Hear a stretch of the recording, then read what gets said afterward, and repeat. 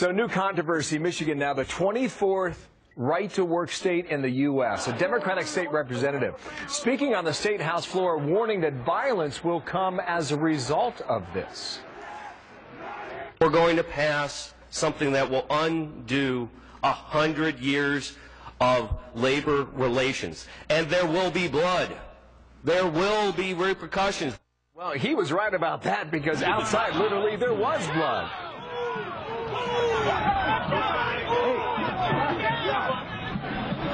Things sure did get ugly when protesters started to tear down a, a tent put up by a pro right to work group called Americans for Prosperity. According to reports, the writer and Fox News contributor Steven Crowder argued with them and then was repeatedly punched in the face, threatened, and had a chipped tooth. Michigan State Senator Tonya Schuitmaker is with me live, and good morning to you. Good morning. What do you make of this reaction so far? There Well, I- will be blood.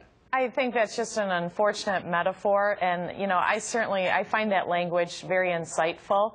Uh, we outside the Capitol had a Lansing landmark. His name's Clint, and he owns a small business. It's a hot dog stand, and they just totally uh, also decimated his business, totally ripped apart his hot dog stand, and then also, as you see, saw the pictures of the tent.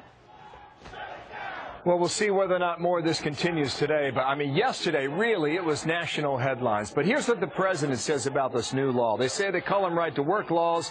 He says they don't have anything to do with economics. It's all about politics. He continues. What they're really talking about is they're giving you the right to work for less money.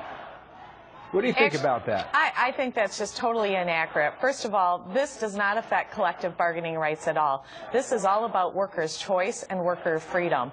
17% of Michigan's workforce is unionized today.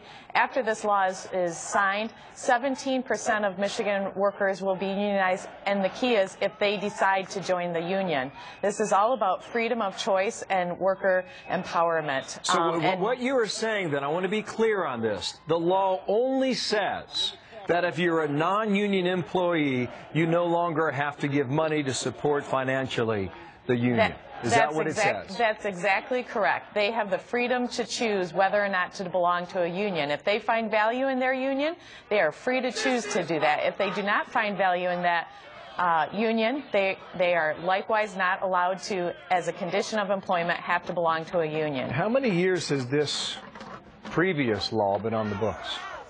It's been on since I, I in years. I mean, 1960s, 1950s? you know, I don't know the exact law, but uh, I, ever since I've been alive, it's been on the books. Okay, the reason I ask that is because you know what happened in Wisconsin. They did something similar. They were successful. Indiana, same story. Ohio, not so much. They went the same route that Michigan did. Then a year later, it was put on the ballot as a referendum and it was thrown out. Will this meet the same fate?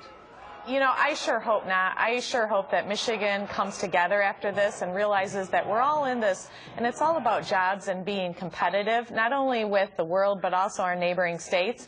Indiana did a law, a right to work law, a couple of uh, months ago, about a year ago, and uh, they found that 74 new projects have been put on the books as a result because they have a great working environment uh, and that's fertile to create jobs.